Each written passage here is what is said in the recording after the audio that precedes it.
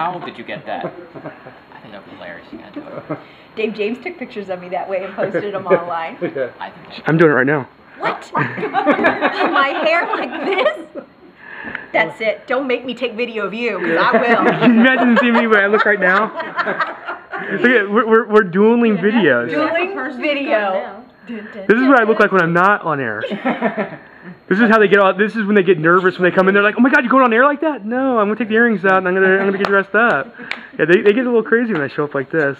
Wait, hold on. Those jeans Move your online. head like a bobblehead. Like the whole- What? Look, Oscar, stand up. it moves. Oh, wait, never mind. Oh, look, my hair melt.